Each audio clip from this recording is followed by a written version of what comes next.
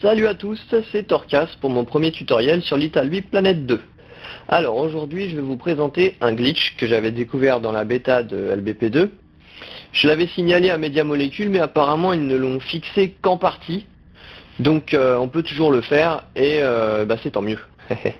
donc euh, on va vous montrer tout ça. Allez, on avance par là. Voilà, bonjour. Alors je vous présente moi. Voilà. Et donc voilà. Alors vous avez deux objets vous voulez les lier entre eux, mais euh, vous ne voulez pas qu'il y ait de connexion physique entre les deux. C'est-à-dire que, bon, généralement, on peut utiliser des pistons, de la matière qu'on rend invisible, ou même un hologramme euh, qu'on rend invisible, mais il y aura toujours une connexion physique. Et euh, ça peut être gênant pour, par exemple, un détecteur de, collision ou quoi que ce soit d'autre qui passe entre les deux objets.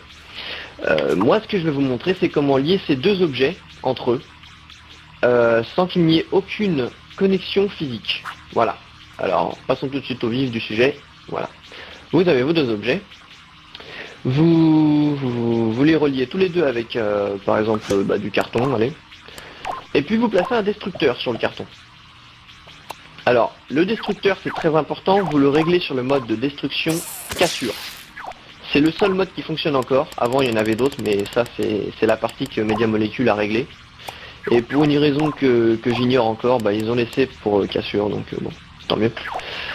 Euh, alors ensuite, vous placez un interrupteur à côté, vous enclenchez l'interrupteur, enfin vous le reliez d'abord au destructeur, puis vous l'enclenchez.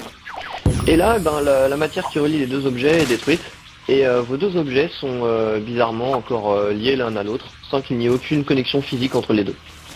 Voilà, c'est voilà, c'est tout. Euh, c'est plutôt sympa. Je pense que ça peut servir à certaines personnes pour faire des, choses. Moi, par exemple, euh, voilà ce que j'ai fabriqué.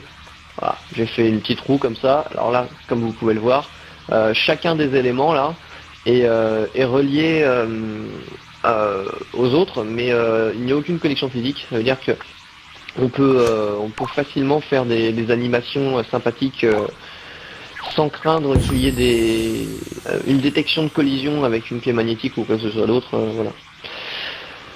Euh, c'était voilà, c'est tout ce que j'avais à montrer pour ce premier glitch. Et puis bah, j'espère que ça pourra servir à certains. Voilà. Salut